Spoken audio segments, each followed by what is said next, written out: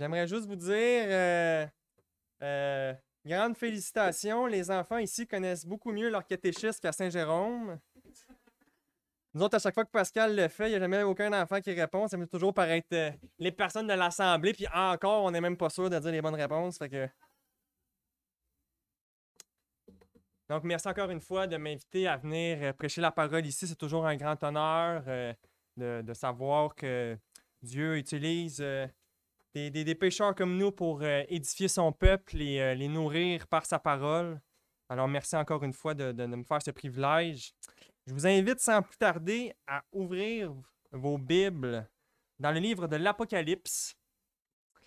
Et euh, on va aller dans le chapitre 2. Et ensemble, on va lire les versets 1 à 5, mais on va surtout exposer en détail les versets 4 et 5.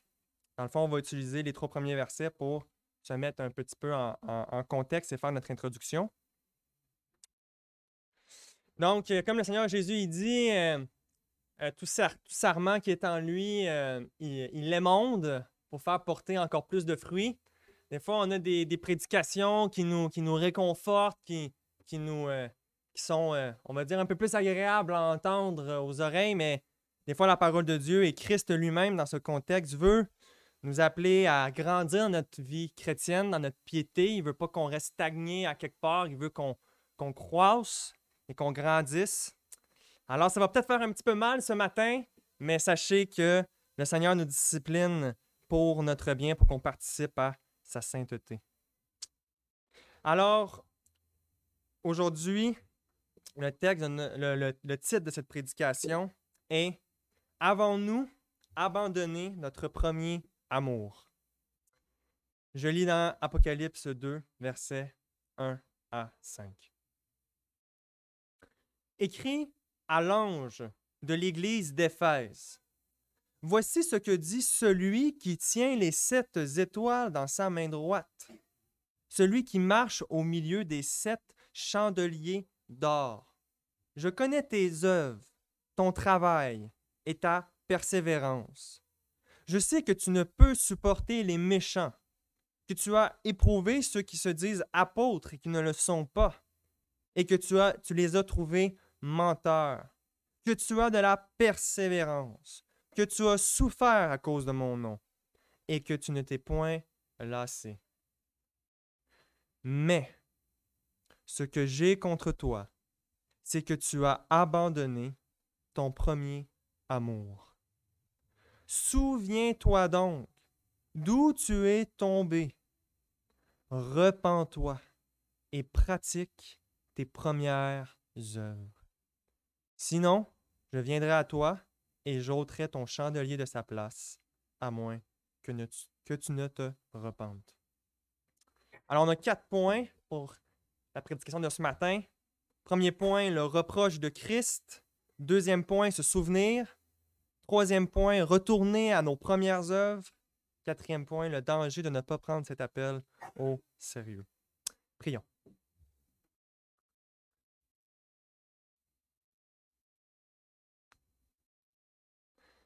Seigneur notre Dieu, pardon.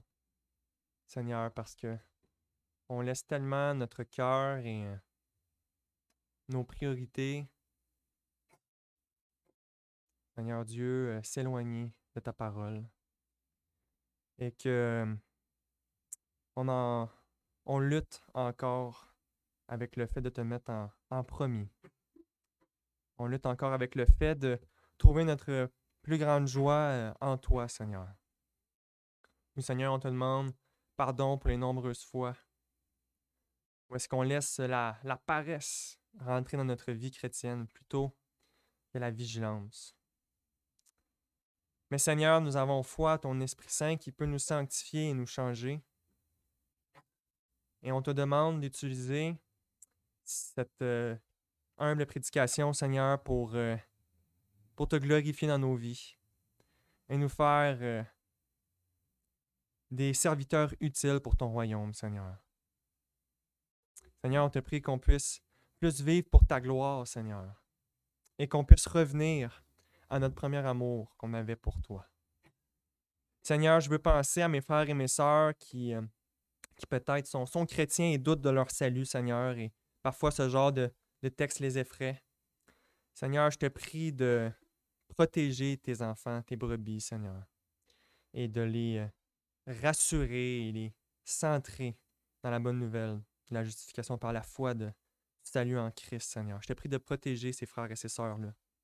Et je te prie vraiment de, de, nous humilier, Seigneur, et de nous amener, comme tu nous commandes, Seigneur Jésus, à la repentance. Seigneur, euh, fait que ce ne soit pas une introspection euh, morbide, mais que ça puisse amener à la vie, à la joie et à la liberté. Pour ta gloire, Seigneur, que j'ai pris ces choses. Amen.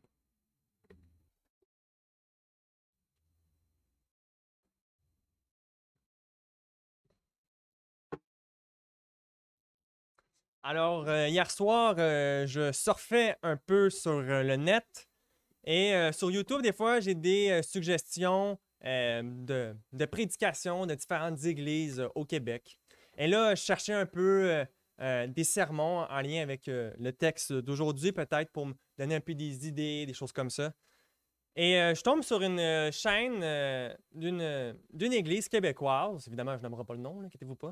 On fera pas scandale ici comme ça en commençant. Mais je me mets à regarder un peu la chaîne YouTube de l'Église et je, réalise très rapidement qu'il y a un enseignant qui est là, qui est régulièrement invité. Et je connais cet enseignement-là. Pas personnellement, mais je connais son enseignement. Et je sais que s'il y a bien une affaire qui n'enseigne pas, c'est la parole de Dieu. c'est des choses, des concepts humains, de la philosophie humaine, qui, est juste là pour être comme un pep talk, pour juste vous motiver, mais il n'y a rien de fondé dans les Écritures. Il n'y a rien qui est là pour prêcher la parole de Dieu, peu importe c'est qui notre public, et, que c'est plutôt là pour plaire aux oreilles, pour toujours dire paix, paix, paix. Et ça m'attristait grandement. dire, Seigneur, comment ça se fait qu'il y a autant d'églises qui, qui ont si peu d'importance donnée à ta parole, puis au bon enseignement, à la bonne doctrine. Et je regardais cette église-là, je regardais les prédications, l'invité encore et encore, et les prédications encore plus euh, bizarres les unes des autres, malheureusement. Mais ce matin, l'église qu'on a vue, c'est-à-dire l'église d'Éphèse, dont Christ envoie un message par l'entremise de l'apôtre Jean, cette église d'Éphèse, c'est pas leur cas. C'est pas une église nous dit Jésus, qui est un peu léger sur la doctrine. Regardez ce qu'il dit au verset 2. Je sais que tu ne peux pas supporter les méchants, que tu as éprouvé ceux qui se disent apôtres et qui ne le sont pas, et que tu les as trouvés menteurs. Ah, même encore aujourd'hui, dans notre génération, il y a encore des gens. Des fois, je me fais aider euh, sur Facebook par des gens qui s'appellent apôtres, euh, je sais pas quoi, euh, dans n'importe.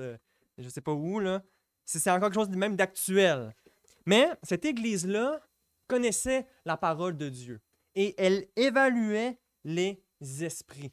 Elle était capable de discerner si, les prédicateurs qui s'en venaient venaient des apôtres et venaient de l'enseignement du Christ ou si c'était des faux enseignants. Parce que si on commence à lire un petit peu le Nouveau Testament et on voit que l'Église, dès le début de son existence, est en conflit avec plein de faux enseignements. Ça prend pas 400 ans pour que des hérésies s'émergent et que les églises fondées par les apôtres sont tentées de se détourner de la parole de Dieu. On voit dans, le Nouveau Testament que, par exemple, euh, quelque chose d'autre qui confirme que cette église-là est vraiment fondée dans la parole, c'est par exemple l'épître aux Éphésiens.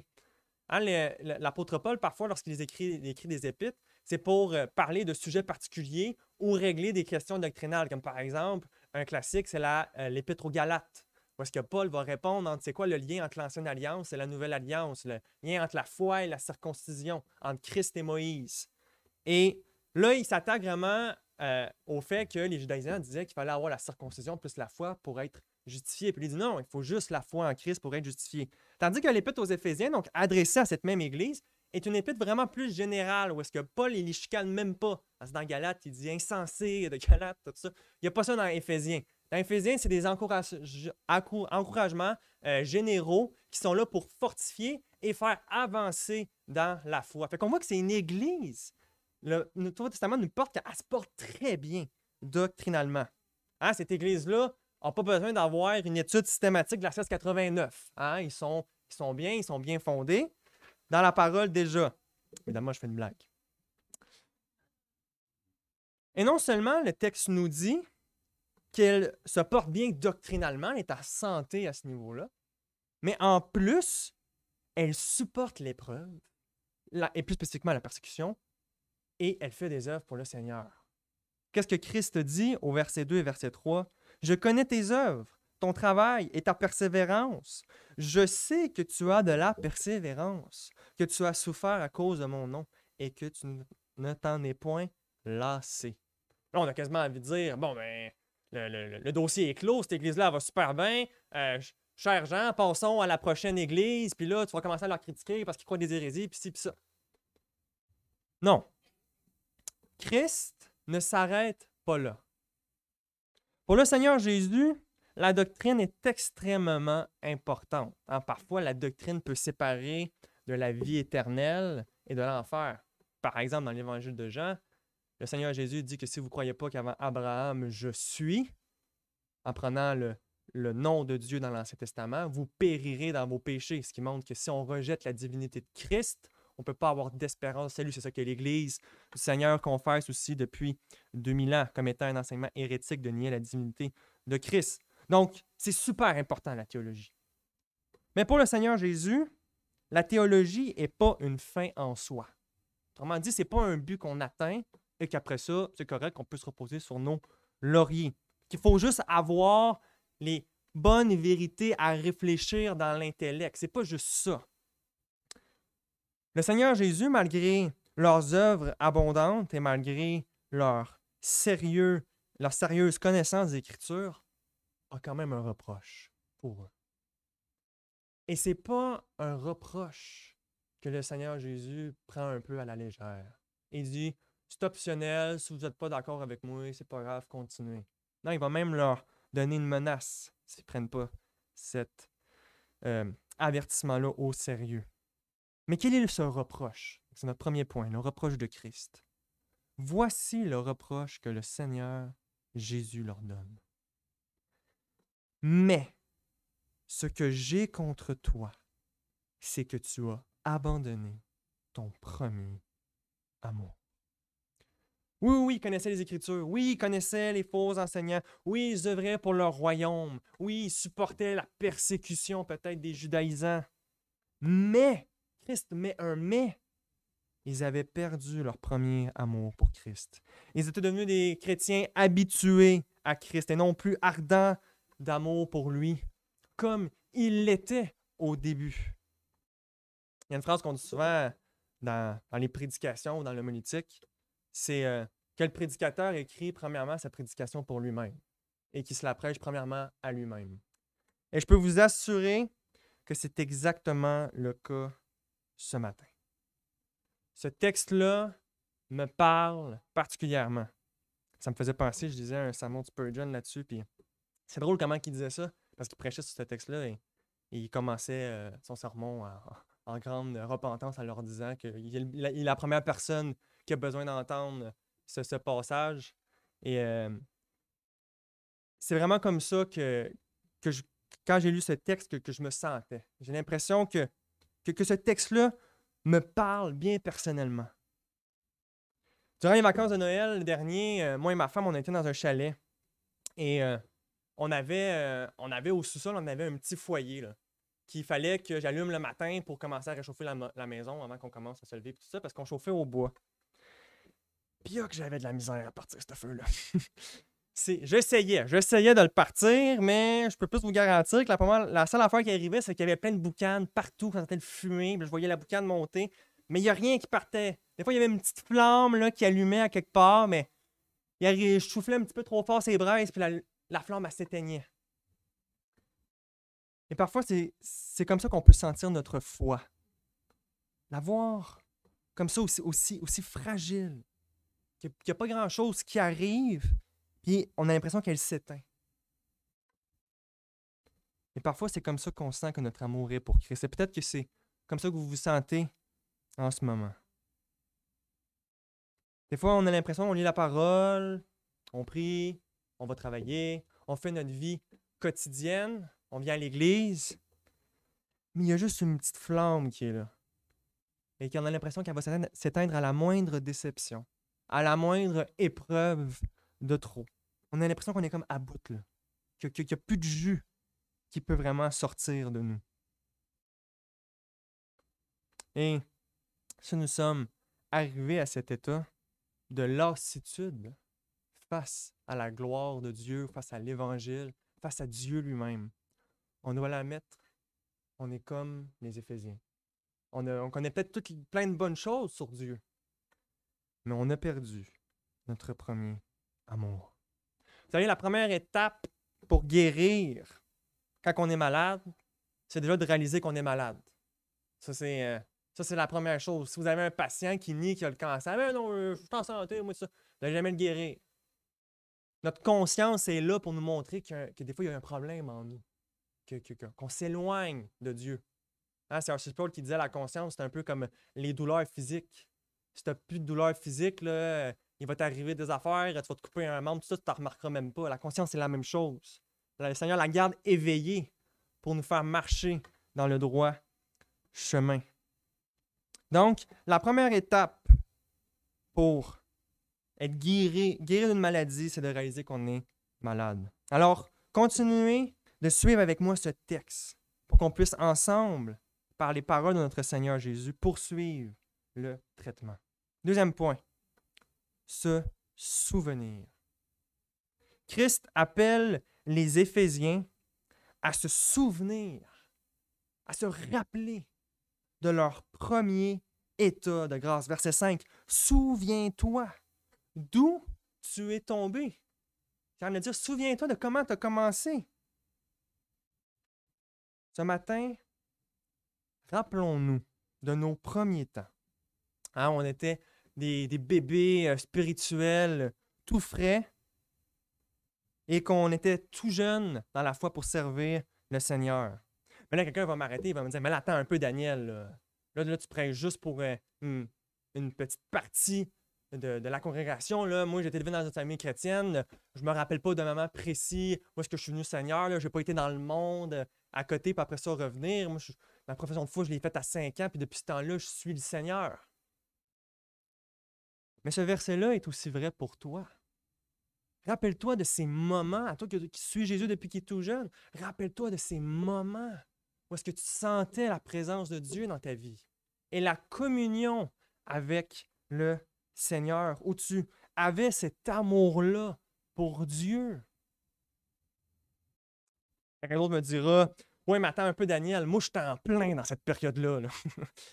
J'en ai des personnes autour de moi que je n'aimerais pas qui sont dans, leur.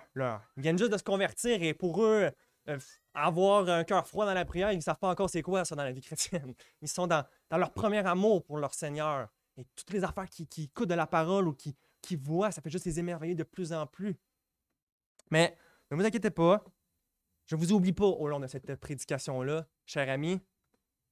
Et j'ai aussi une exhortation pour vous qui viendra. Le texte nous dit, rappelez-vous d'où vous êtes tombés.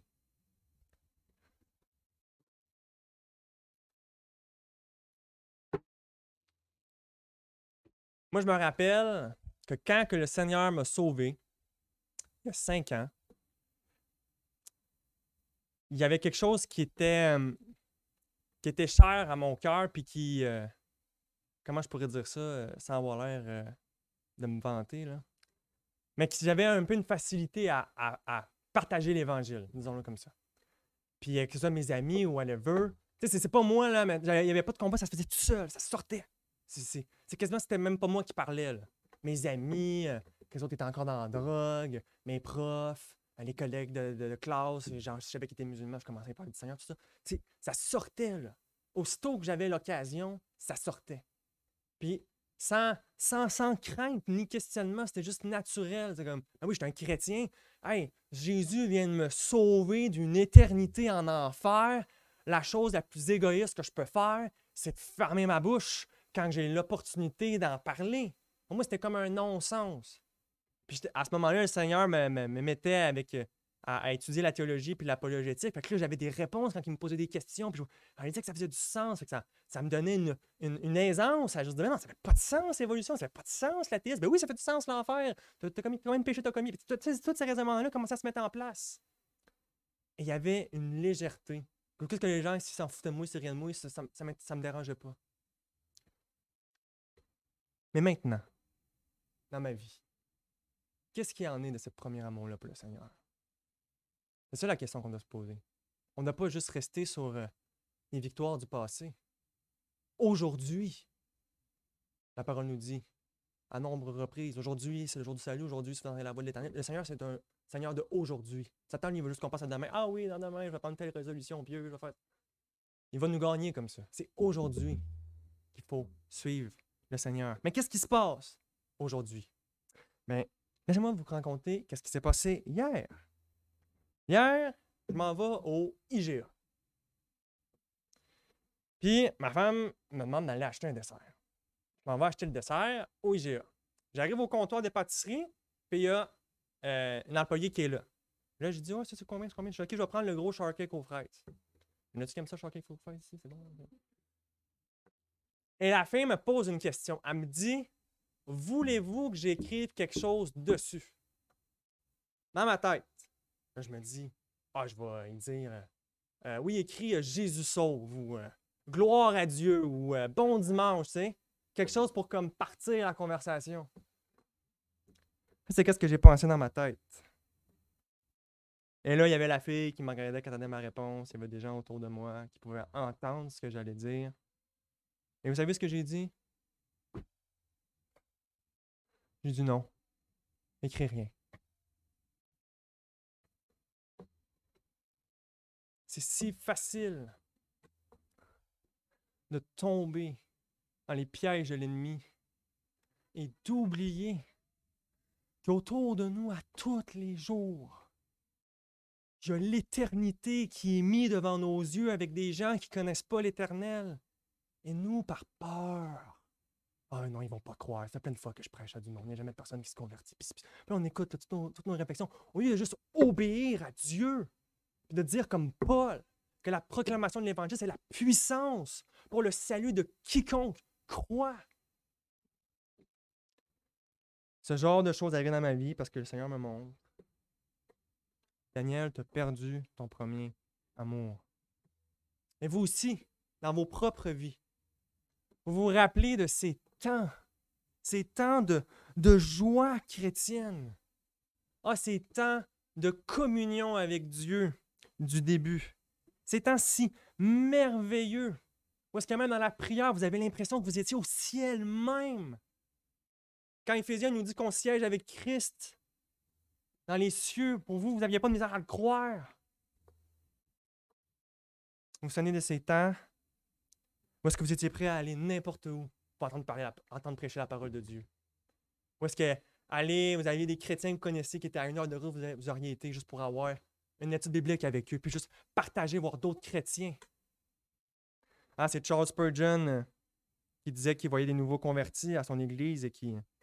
Là, les nouveaux convertis arrivaient, puis il disait Ah oui, moi j'ai fait 5000 pour venir ici. Puis là, Charles Spurgeon dit Ah ouais, avec le froid, puis tout ça. Ok, ça c'est une âme qui a soif de la parole de Dieu, qui a soif de Christ. Et après un certain temps, oh là, ça leur sentait plus. Oh là, c'est trop loin. 5, 5000, je sais pas comment ça fait un kilomètre, ça quoi, fait 10 km? 5000, c'est trop. Là. Spurgeon qui disait qu'il voyait des personnes ardents, mais après ça, le feu s'éteignait en, en eux. Et la pire affaire, c'est que bien souvent, on devient habitué à ça. On devient habitué à la froideur de notre cœur. On fait, ben ouais, c'est ça la vie chrétienne. C'est de même. On peut rien changer. C'est comme ça. Je suis pécheur, puis je vais lutter, puis ci, puis ça. C'est rendu que ça ne nous dérange même plus. Ah, on va voir des personnes euh, converties qui sont plein de fois pour le Seigneur, puis on a quasiment envie de dire avec un rire cynique, ouais, ouais, attends un peu. À quel point c'est pas biblique? Puis à quel point est-ce que Satan nous a par ces réflexions-là? C'est pas ça que Christ dit ici. Si vous pensez à un défaitisme chrétien perpétuel, c'est pas ça que Christ est en train de vous appeler. C'est pas ça la vie par l'Esprit qui vous, qui vous amène. Qu'est-ce que nous dit Christ? Troisième point. Retournez à nos premières œuvres. Christ exhorte l'Église d'Éphèse. Repends-toi et pratique tes premières œuvres. Chrétien, ces premières habitudes que tu avais, retourne-y. Ces, premières œuvres d'obéissance que tu faisais, recommence à les faire. Ce premier euh, zèle, disposition à témoigner de toi quand tu en avais l'occasion, remets-toi là-dedans. Prie. Retourne à ton premier amour, à la première flamme que Dieu t'avait donnée. quelqu'un me dira Ouais, mais comment, comment, comment je peux avoir cet amour-là, Daniel? Je, sais qu'il faut que je retourne à mes premières œuvres, mais ces premières œuvres-là découlent de mon premier amour. Il faut que j'aille le premier amour pour que les œuvres en découlent. Comment, comment je fais pour ravoir ça? Je sais, euh, la parole me dit, je peux pas le créer artificiellement, c'est un fruit de l'esprit. Fait moi, je suis comme, si Dieu il agit pas, puis si, puis plein de questionnements comme ça qui peuvent émerger dans notre euh, difficulté dans la sanctification. Comment avoir cette joie-là, ce premier amour envers Christ, votre Sauveur et votre Roi? Spurgeon répond de la façon suivante. Pourquoi certaines planètes sont-elles froides? Pourquoi se déplacent-elles si lentement? Ben, tout simplement parce qu'elles sont très éloignées du Soleil. Mettez-les à la place de la planète Mercure et elles seront en ébullition et tourneront autour du Soleil sur des orbites rapides. Ainsi, mes bien-aimés, si nous vivons près du Christ, nous ne pouvons pas nous empêcher de l'aimer. Le cœur qui est près de Jésus sera plein de son amour. Mais si nous vivons des jours, des semaines et des mois sans relation personnelle, sans véritable communion, comment pouvons-nous entretenir l'amour envers un étranger? Il doit être un ami. Et nous devons rester près de lui comme lui reste près de nous. Il doit être plus près pour nous qu'un frère. Sinon, nous n'aurons jamais notre premier amour. Mais là, vous allez me poser une question. Oui, mais comment je fais pour être proche de Christ? Comment, comment, comment je fais pour m'approcher de lui? La réponse est claire et simple. C'est pas compliqué la réponse. Des fois, on complique la vie chrétienne pas mal. La réponse est simple. Les moyens de grâce. Quand je suis devenu chrétien, là, ben moi, mon monde venait de changer à 180 degrés. Là, là, Jésus, c'est mon roi. Il est mort à la croix. Il a payé pour tous mes péchés. Je vais être avec lui pour toujours. Même si on me tue ici, si on me torture, ça va tout concourir à mon bien. J'ai rien à perdre, je ne perdrai pas mon salut, je peux le suivre. Et cette réflexion-là que j'avais qui, était en moi, cette espérance-là, par contre, comment elle restait en vie, cette espérance-là? Ben, laissez-moi vous expliquer un peu ce qui se passait dans ma vie à ce, moment-là. J'étais au cégep. Moi, là, mon matin en entier, c'était les moyens de grâce. J'avais pas de goût pour d'autres choses encore là, c'est pas des affaires, ah ben ouais, je suis hot, regardez comment je suis bon. C'était juste la nature, la, nouvelle nature qui là était curée du péché. Là. Désolé pour euh, mais, mais elle, voulait juste, voulait le Seigneur à partir de maintenant. La lecture de la parole, la méditation de la parole. Et puis, quand j'avais du temps, il y avait de la, prière secrète et intime avec Dieu. Puis après ça, quand, je me rendais à mes cours, je me mettais tant des sermons dans les oreilles, j'écoutais la, la parole prêchée à ma tête et à mon cœur. Dans l'auto, je mettais des, louanges avec ma mère.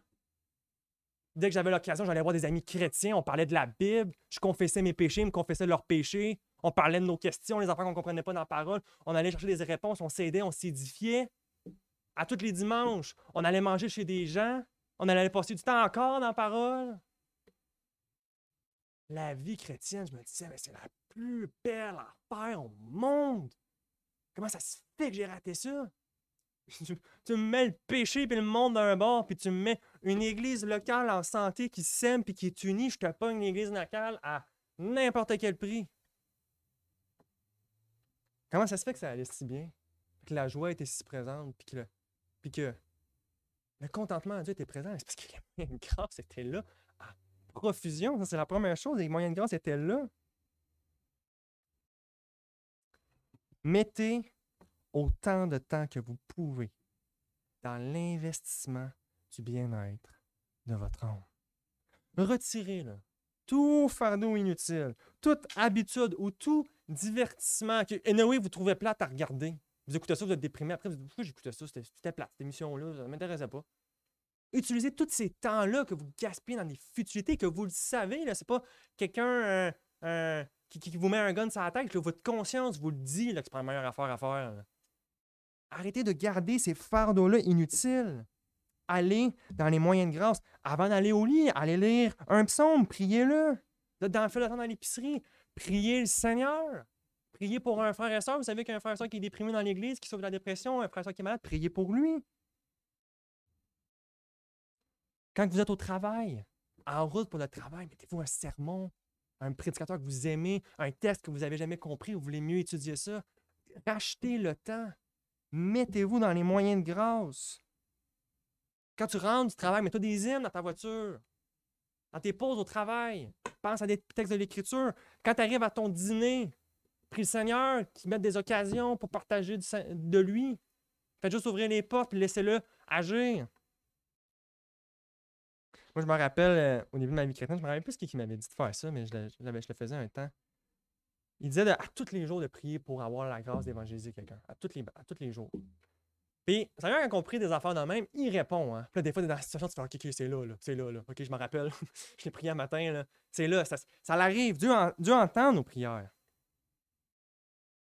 Quand tu es avec ta famille, ouvre la parole de Dieu ou un livre chrétien ou, comme vous le faites déjà, un catéchisme. Ça, c'est plus pour Saint-Jérôme pour que je prêche ça.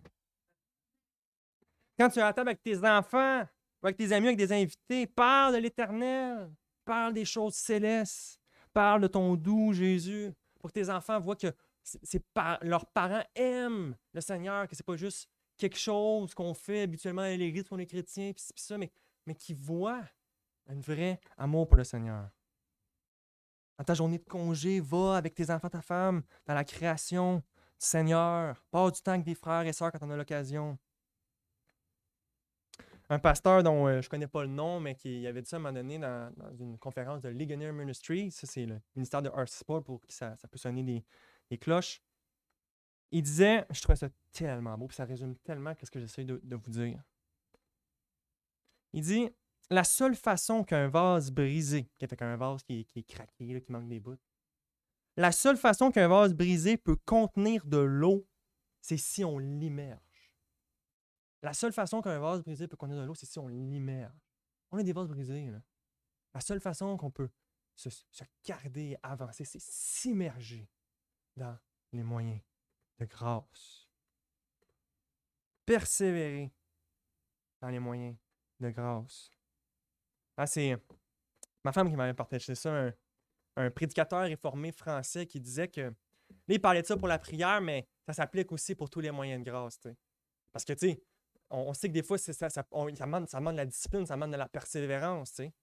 Et j'aimais tellement l'illustration, puis c'est vraiment comme ça que ça se sent quand tu es dans la difficulté dans les moyens de grâce à persévérer. Il disait, les moyens de grâce, ben là, dans son cas, c'est la prière, mais temps, je vais donner les moyens de grâce. Il dit, c'est comme quand tu arrives à un puits, puis qu'il y a une pompe manuelle qu'il faut que tu pompes. Tu pompes l'eau, là, puis il n'y a pas d'eau qui sort. Fait faut que tu continues à pomper, tu continues à pomper. Puis là, après un certain temps, quand ça commence à être vraiment difficile, là, ah, il y a de l'eau qui sort. Mais là, le prédicateur, il disait, mais là, qu'est-ce que le monde fait? Ben, il lâche la manette. Ils vont récolter l'eau. Là, qu'est-ce qui arrive à un moment donné? Ah, mais il n'y a plus d'eau qui sort. Donc, il faut tout recommencer. On commence à pomper, tout ça. Qu'est-ce qu'il essayait de dire à, sa congrégation? C'est que quand on se met dans les moyens de grâce comme ça, une fois que la joie est là, une fois que l'amour est là, faut juste l'alimenter. Une fois que vous avez parti un feu, là, on met des petites bûches, on le surveille, tout ça. Mais, mais, mais, mais, mais, aller dans les moyens de grâce, s'en aller, fait, OK, c'est beau, j'en ai assez, c'est correct, là, je suis heureux dans le Seigneur. C'est comme laisser un, un, feu brûler toute une journée, là, vous arrivez, le feu est éteint. Ah ben, coudon. Parce qu'il faut que ça s'entretienne. On est comme la personne qui arrête de, de tirer la pompe du puits une fois que l'eau sort. Il faut continuer. Hein, c'est comme les profs d'éducation physique qui disaient tout le temps quand tu fais le jogging, faut pas t'arrêter de courir parce qu'après ça, c'est plus dur de recommencer. C'est toutes des analogies pour essayer de comprendre qu'il faut rester, euh, faut avoir l'espoir dans la persévérance des moyens de grâce. ce prédicateur-là disait qu'une une fois que l'eau est sortie, là, il disait ça, c'est plus facile, c'est plus, tant difficile. Là. ça, devient vraiment un réel plaisir de, communier avec Dieu. C'est que là, tu commences à goûter, OK, là. Ah, la joie est là. La joie de lire la parole, la joie de prier, la joie de, venir à l'église, d'avoir euh, le baptême, la communion. Toutes ces choses-là, ça devient tout léger. Ça se fait. L'esprit agit, mais l'esprit agit par les moyens de grâce ordinaire.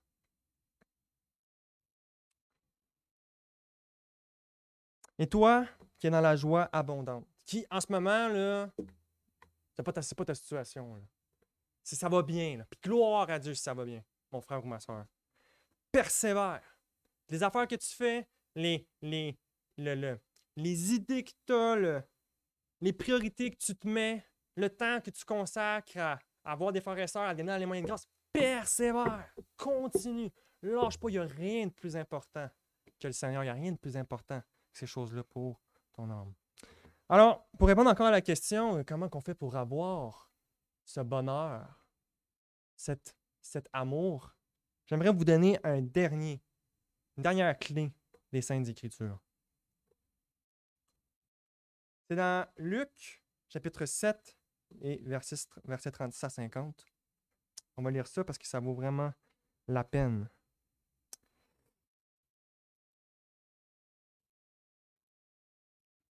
Je lis.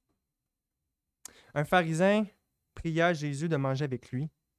Jésus entra dans la maison du pharisien et se mit à table.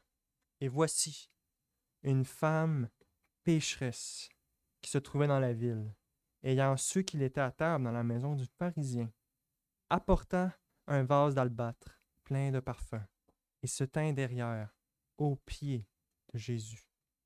Elle pleurait, et bientôt elle lui mouilla les pieds avec ses larmes, puis les essuya avec ses cheveux, les baisa et les oignit de parfum. Le pharisien qui l'avait invité, voyant cela, se dit en lui-même Si cet homme est un prophète, il saurait qui et de quelle espèce est la femme qui le touche. Il saurait que c'est une pécheresse. Jésus prit la parole et lui dit, Simon, j'ai quelque chose à te dire. Maître, parle, répondit-il. Un créancier avait deux débiteurs.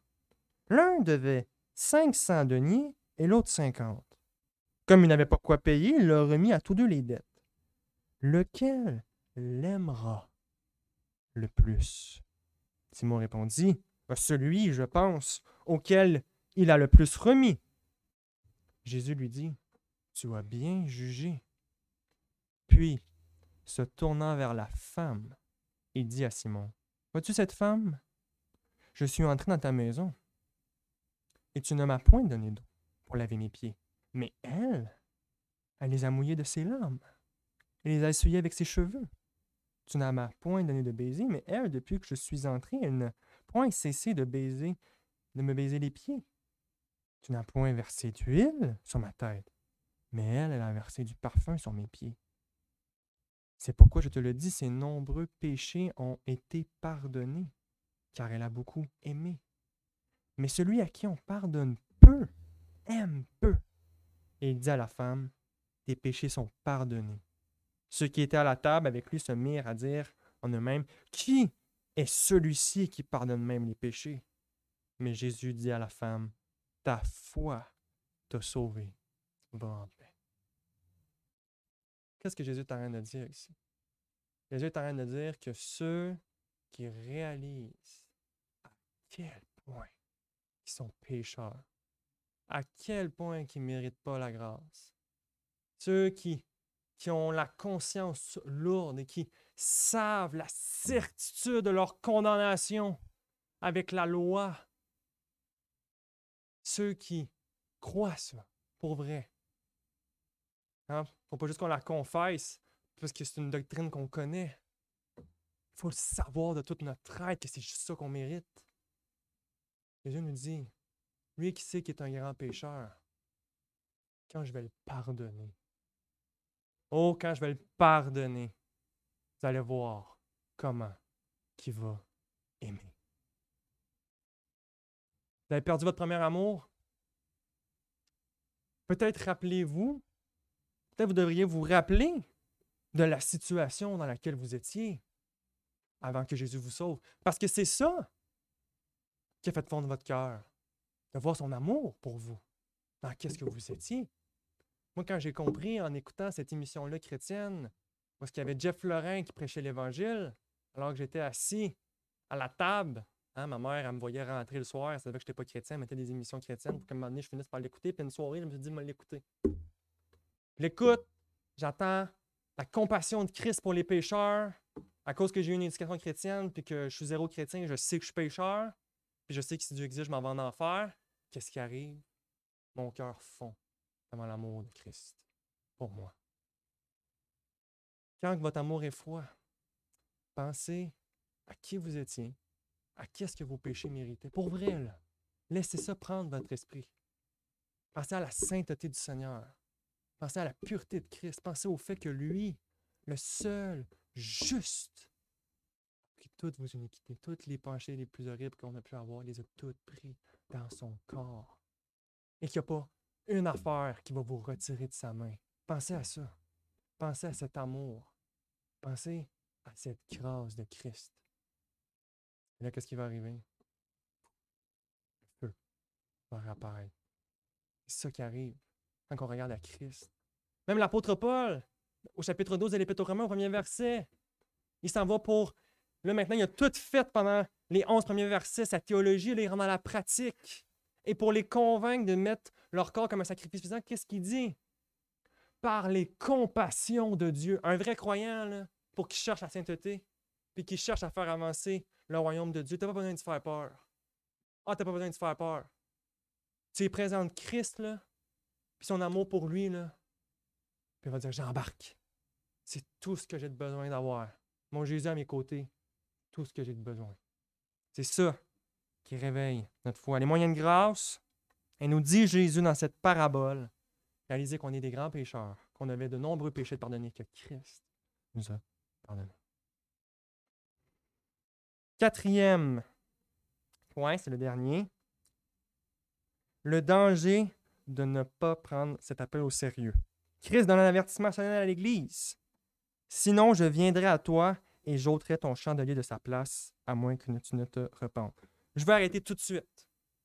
Jésus n'est pas en train d'enseigner que les Éphésiens vont perdre leur salut si jamais ils ne euh, retrouvent pas leur premier amour. Votre justification, elle n'est pas dépendante de votre amour pour Dieu, elle est dépendante de votre amour, de l'amour de Dieu pour vous en Christ. Et ça, ce n'est pas juste une imposition d'une théologie calviniste, c'est bien faire l'exégèse du texte. Pourquoi? Parce que c'est le contexte qui nous explique qu'est-ce que signifient les symboles. Dans ce cas-ci, c'est le chandelier. C'est quoi le chandelier? Qu'est-ce que Jésus veut dire ici? Le chandelier, au premier chapitre, est clairement indiqué. Sa nature n'est pas ambiguë. Apocalypse 1, verset 20. Les sept étoiles sont les anges des sept églises. Là, c'est l'ange qui dit à Jean Je te donne des symboles, il faut que tu les interprètes. C'est une image, une réalité. Moi, te le dire tout de suite, c'est quoi? Là, il dit que les sept étoiles, c'est les sept anges des sept églises. Et les sept chandeliers sont les sept d'Église. Le chandelier, c'est l'Église.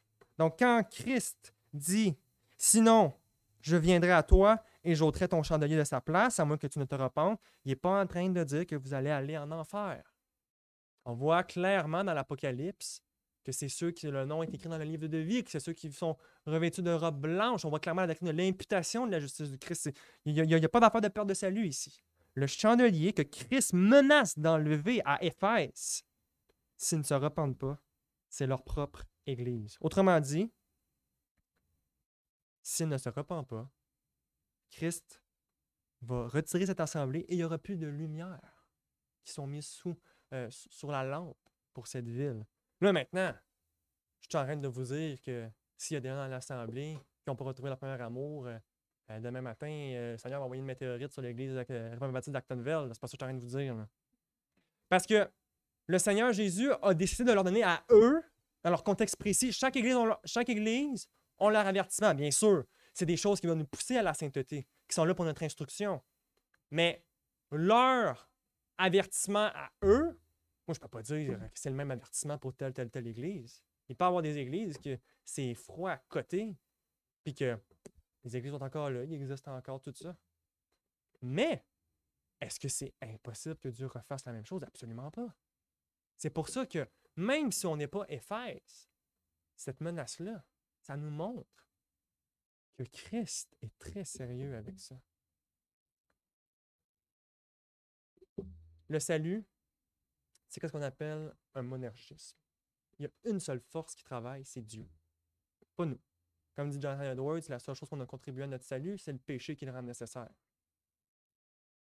Mais la sanctification, il y a deux forces, c'est un synergisme.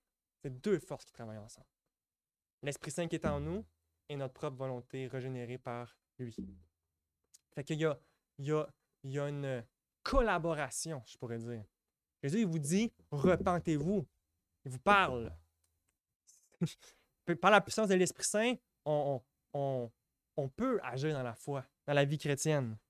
Donc oui, on a une responsabilité. On doit prendre garde aux choses qu'on entend.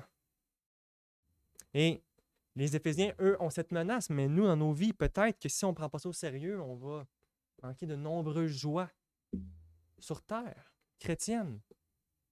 Là, j'espère que je ne dis rien de scandaleux en disant que peut-être des futures joies glorieuses au ciel, conditionnées par qu'est-ce qu'on va avoir fait aussi dans cette vie.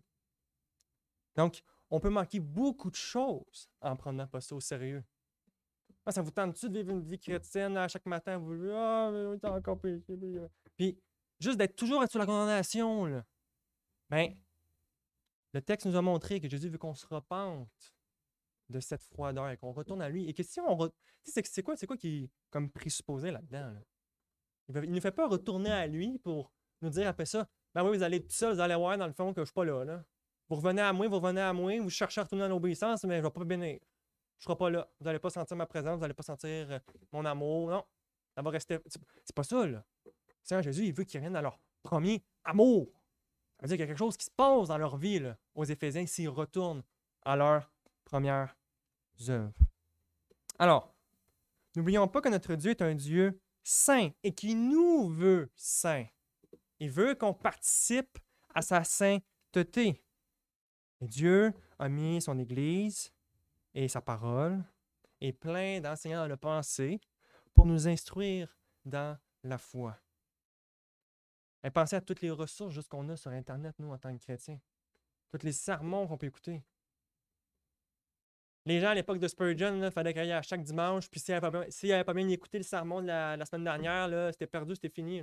pour, pour, au niveau de l'auditoire. Mais non, mais c'est vrai que Spurgeon, il y avait les écrits. Mais mettons qu'ils sont va plus loin.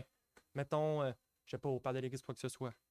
L'idée, c'est de dire que nous, ici, en ce moment, on a plein de ressources pour notre foi. Il n'y a pas, pas d'excuses. On a des questions, il y a des réponses.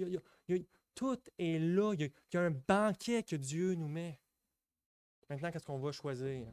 Est-ce qu'on va être comme Marthe, occupée à faire la vaisselle? puis, comment ça se fait que Marie vient pas m'aider? Dis donc. Jésus dit, Marthe, tu t'inquiètes. Il y a beaucoup de peu de choses, des choses futiles. Elle, elle a choisi les choses les meilleures, sa part ne lui sera pas retirée. C'est ça qu'on doit penser.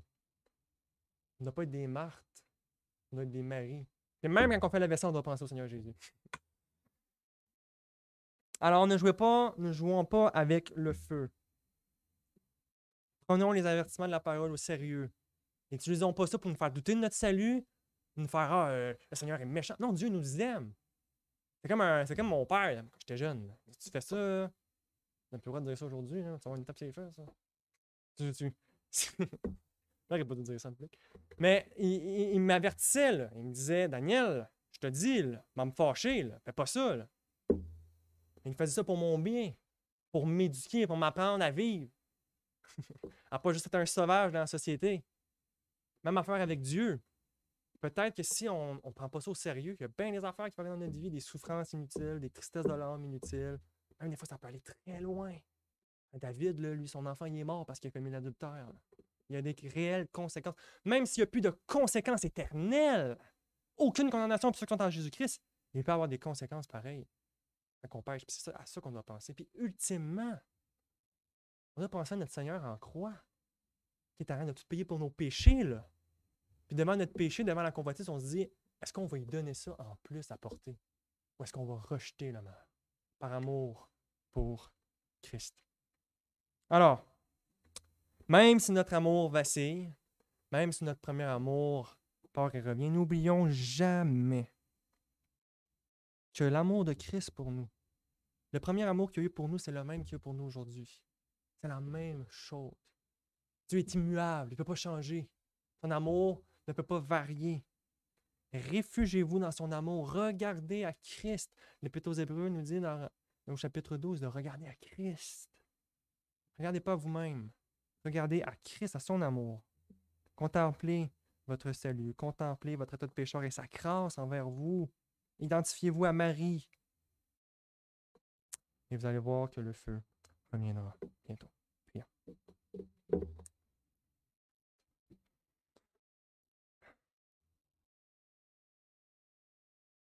Oui, Seigneur, merci de, mettre tant de variété dans ta parole que, oui, tu nous réconfortes, mais des fois, tu, nous appelles à changer sérieusement. Tu nous montres la réalité que tu veux que tes enfants marchent par l'Esprit et marchent dans la sainteté. Oui, Seigneur, nous te remercions que nous n'avons pas à craindre le jour du jugement. Nous te remercions que Christ a tout payé à la croix pour nous. Oui, Seigneur Dieu, nous te louons de cet amour inimaginable pour nous. Et on te prie que notre amour puisse être encore plus grand que le premier qu'on a eu. On te prie qu'on puisse arrêter de remettre au lendemain. Que qu'est-ce qu'on faisait à nos débuts, on puisse recommencer à le faire à prendre au sérieux ta grâce, tes moyens de grâce. Oui, Seigneur Dieu. Je te prie que ce sermon ne puisse pas être dans nos cœurs euh, un joug, mais une liberté à t'aimer plus, notre Seigneur Jésus.